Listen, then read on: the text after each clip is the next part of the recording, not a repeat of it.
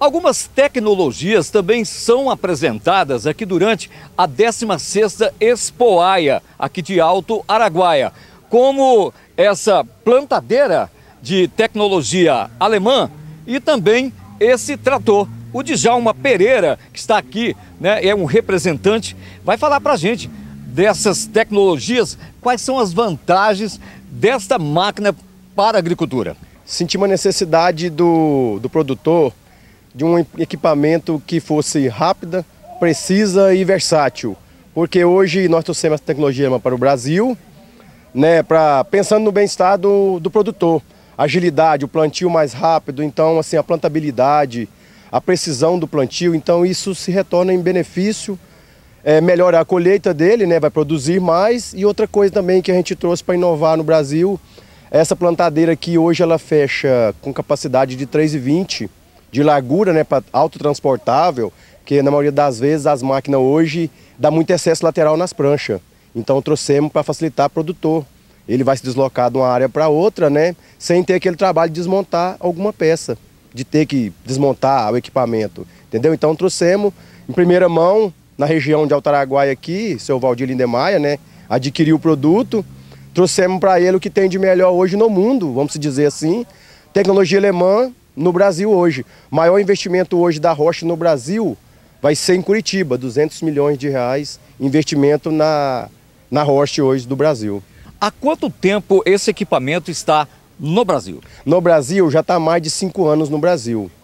Ok, agora nós vamos falar também desse trator. A gente vê que é um, um trator né, magnífico para a agricultura, para o produtor que adquirir um, uma máquina dessa, digamos assim. Sim. Quais são os benefícios? É, os benefícios, assim, porque todo equipamento precisa de um bom trator, certo? Então, assim, como o seu Valdir já adquiriu esse trator 250 CV com CVT automático, né? Então, facilita muito a operação do operador hoje.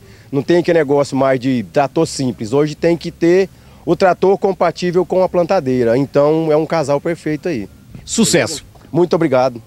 Agradeço por tudo, vamos dar tudo certo. A JN TV está aqui na 16ª Expoaia e olha só com quem que eu vou conversar agora com o casal Noêmia e Valdir. Estão sempre prestigiando as exposições, o comércio, já que os dois são empresários, né? E agricultores aqui da região. Valdir, prazer falar com você e eu estou sabendo também que você adquiriu aí mais um implemento agrícola, uma coisa, né? Tecnológica, um produto da um produto alemão e para você isso vai fazer muita é, importância na agricultura. Boa noite, Zenildo, boa noite a todos os da sua televisão, que fiquei sabendo que você está com ela no ar agora. E dizer para vocês aí, os telespectadores, que a gente aqui está na região há mais de 40 anos, é, produzindo, fomos os pioneiros a plantar soja aqui no estado do Mato Grosso, a região nossa aqui de Alto Araguaia. Aquele tempo era distrito em Alto Aquari. Uhum. E daí começou a expandir esse plantio para esse Mato Grosso afora, esse Brasil lá fora. E hoje o agronegócio não parou, passamos essa pandemia, o agronegócio seguiu produzindo, não deu, não desempregou, empregou mais gente, produziu. E o Mato Grosso hoje é um dos maiores produtores de grão desse país. E de falar para vocês aí, pra, a gente está sempre renovando o maquinário, a gente é, precisa renovar, fazer investimentos para que a gente consiga uma produtividade melhor. Essa platadeira aí a gente não conhece, é um lançamento, é, a tecnologia é alemã, é a fábrica Curitiba. E o vendedor apareceu lá, a gente olhou, tivemos na exposição na Rio Verde, olhamos essa máquina e, e compramos duas máquinas dessa aí, porque, como falei para você, a gente precisa melhorar, precisa ampliar, precisa crescer.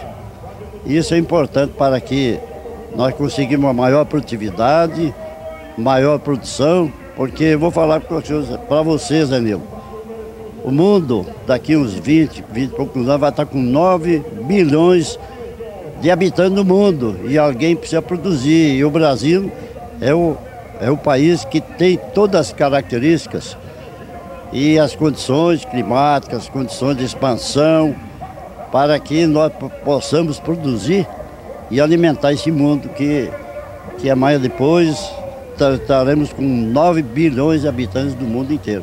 E o Brasil está preparado para isso aí, nós produtores estamos fazendo nossa parte, produtores produzindo, sofrendo muitas vezes no sol, na chuva, falta de chuva, excesso de chuva.